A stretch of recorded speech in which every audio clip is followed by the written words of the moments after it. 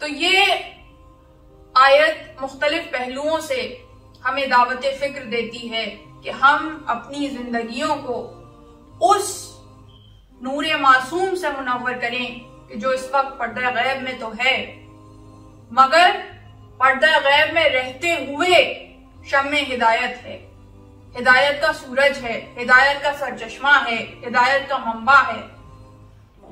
और वो हमारी इस तरह हिदायत करता है कि हम इस चीज़ को पूरी तवानाई के साथ महसूस करें, उसको दर्द करें, उसकी मार्फत हासिल करें। ये ना समझें कि ये बस एक फलसफा है या एक नज़रिया है।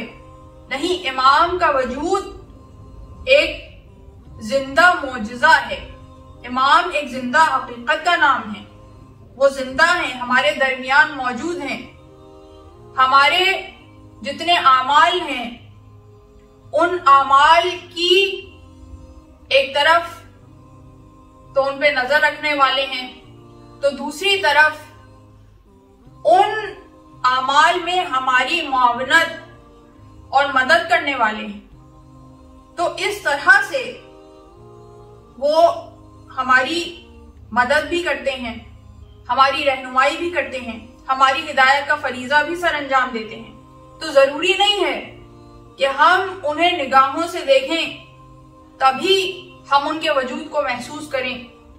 ये जो मोहब्बत का ताल्लुक है, अकीदत का ताल्लुक है मवदत का ताल्लुक है, और जो खसूसियत के साथ मकतब शीयत में मौजूद है तो वो हमें ये सिखाता है कि एक तो वक्त उसकी उस तरह से अहमियत नहीं है जिस तरह से हमारी रोज़मर्रा ज़िंदगी में होती है। और इसी तरह स्पेस उसकी वो हकीकत नहीं है जिस तरह हम रोज़मर्रा अपनी ज़िंदगी में समझते हैं। टाइम और स्पेस ये दो ऐसी रियलिटीज हैं कि जो साइंटिस्ट ने भी साबित किया आइंस्टाइन की थ्योरी ने भी साबित किया कि टाइम और स्पेस रिलेटिव हकीकतों के नाम हैं। ये रिलेटिव हैं।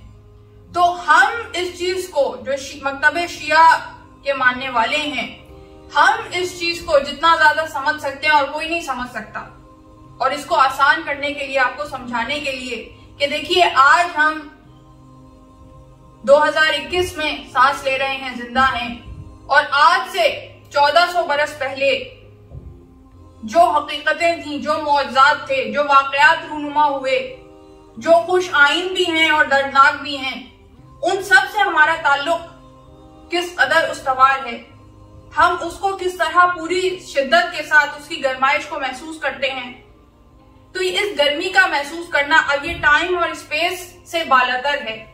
हालाँकि कहा आज और कहा 1400 बरस पहले की हकीकत, मगर आज हमारी दिल की ताकतें जैसे उसकी गर्मी को महसूस करती हैं, जैसे कि वो कल ही रूनुमा हुआ, होने वाला वाकया हो।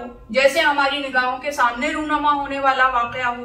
तो यहाँ पे वक्त और स्पेस की कैद टाइम और स्पेस की कैद जमानो, मकान की कैद अहमियत नहीं रखती।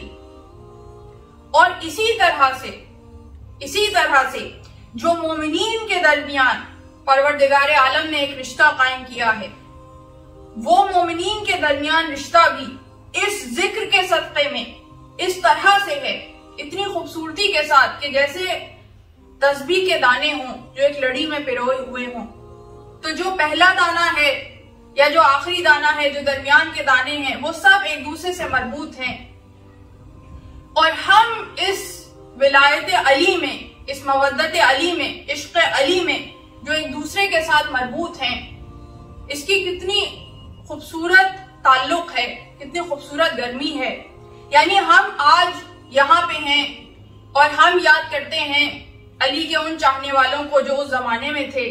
हम कुमैल का भी तस्करा करते हैं, हम सलमान का भी तस्करा करते हैं, हम हमारे यासिर का भी तस्करा करते हैं और वही मोहब्बत और मवदत अपने दिल में उनके लिए महसूस करते हैं, जो उस जमाने में रहने वाले शिया महसूस करते होंगे या जो दरमियान में आने वाले शिया महसूस करते होंगे।